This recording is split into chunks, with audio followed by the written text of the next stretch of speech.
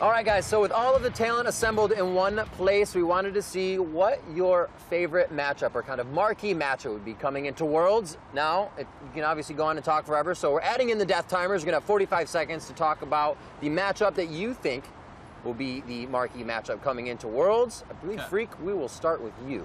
Yeah, well, we're here in Paris. They're known for baking very good things, so they should bake us some apple pie. I want to know how North America's premier bot lane of Rush Hour is going to do up against the KOO Tigers with PraY and Gorilla. PraY and Gorilla are very well respected players. They're among the very best in Korea. Gorilla's kind of, I would say, most known for bringing Janna to the world stage and making everyone realize this was a good champion, so he's an innovator as well. And so seeing how Doublelift and Aphro can do against two of the, the most experienced Koreans in the world stage, and, and, you know, they're known for winning lane in North America, they're known for being the best bot lane in North America, they're known for winning games by themselves. CLG, though they're still a fairly branched out team, still does center a lot around Doublelift, so seeing how those two are going to do, and basically just to prove that North America has a talent pool, that North America has good players, because I really do believe in NA this year. I said a few months ago we're going to see Now two you're done. Okay. That was great. Fantastic. QuickShot. You now have the pavement, cobblestone, what have you. Take it.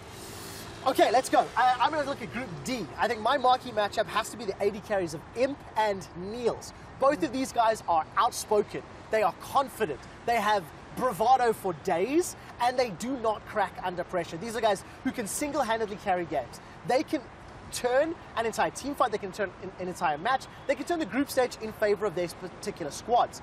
I also do not think Niels has a penchant for wanting to cry. This is something that Imp has a history of making his opponents do.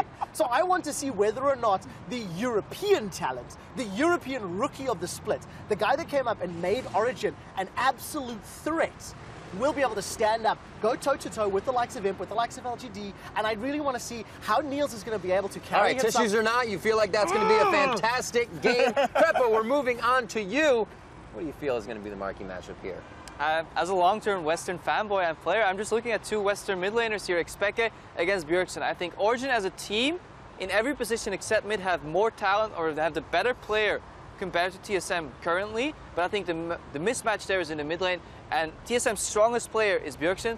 Origen's weakest players is xPeke, and I think that's where it can go wrong for them because the amount of resources TSM consistently funnels into Bjergsen, including jungle camps, you know, tower gold, even farm share post uh, 15 to 30 minutes, is significantly more than what xPeke gets from Origen. He usually has to clean up, he plays the utility role, doesn't really get to have any ganks. So if TSM gets their synergy together, gets Santorin ganking from Bjergsen, that matchup can win, spill over, and win over the entire map for TSM.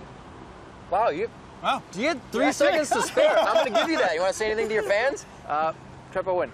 All right, gentlemen, thank you for that. While I have my own opinion and critiques on your performances, they went well. We want to know what you think and who won.